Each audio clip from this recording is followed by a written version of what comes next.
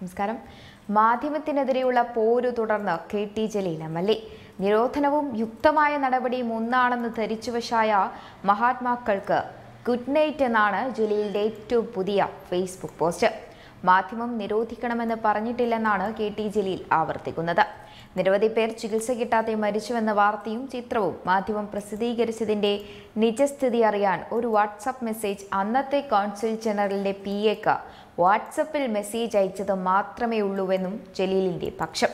അതേസമയം മാധ്യമത്തിനെതിരെ ജലീൽ അത്തരത്തിലൊരു നിലപാടെടുത്തത് ശരിയായില്ലെന്നാണ് C P എമ്മിന്റെയും വിലയിരുത്തൽ.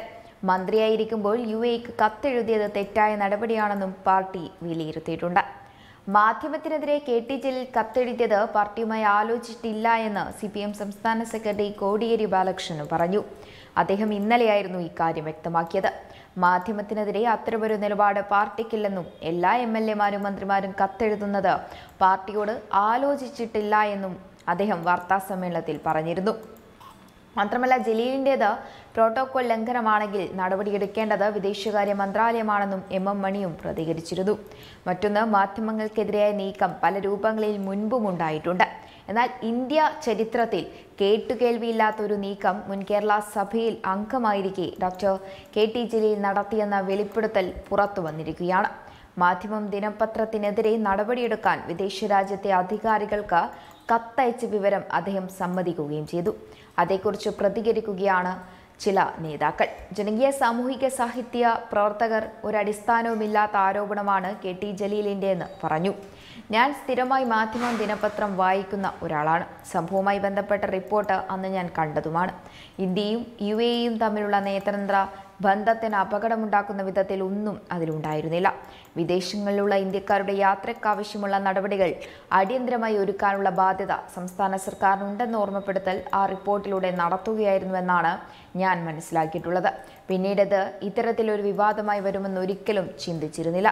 തികച്ചും അനാവശ്യമായതും പ്രകോപനം സൃഷ്ടിക്കാൻ വേണ്ടിയുള്ളതുമാണ് ഈ ഇടപെടലായി മാത്രമേ കാണാൻ കഴിയുകയുള്ളൂ.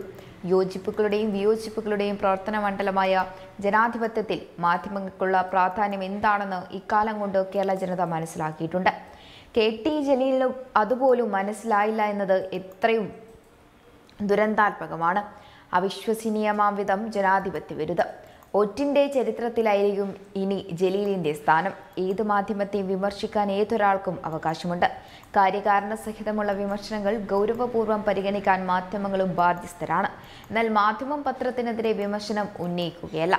മാധ്യമത്തിനെതിരെ നടപടി സ്വീകരിക്കാൻ വിദേശ രാജ്യത്തോട് ആവശ്യപ്പെടുകയാണ് മുൻമന്ത്രി കെ ടി ജലീൽ ചെയ്തത്. ഇതിനു പിന്നിലെ നിയമലംഘനത്തിന്റെ വിഷയം നീതിപാലന സംവിധാനം തീരുമാനിക്കട്ടെ. പൊതുജനങ്ങളെയും മാധ്യമങ്ങളെയും സംബന്ധിച്ചിടത്തോളം ഗുരുതരമായ പ്രശ്നമാണ് ഇപ്പോൾ നടന്നതെന്നാണ് കെ ടി ജലീലിനെതിരെ ഉയരുന്ന പ്രധാന ആക്ഷേപം. Like and subscribe to channel Kerala channel Kerala channel by N B C Limited.